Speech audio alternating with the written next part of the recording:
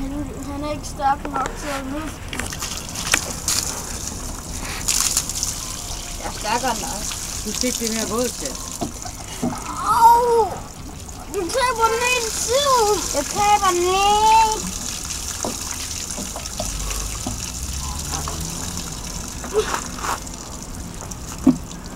William, Hvad? dine bukser, de skal lige hænges til tørre inden på.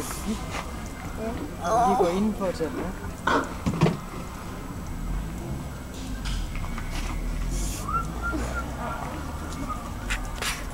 Det er lidt som om, der er en, der scorer på dig.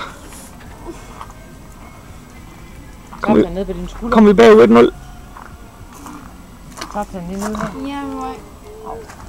To gange. To gange. Sikke en bandit. Det er ikke sjovt. Det William, er ikke sjovt. William, det gjorde ondt.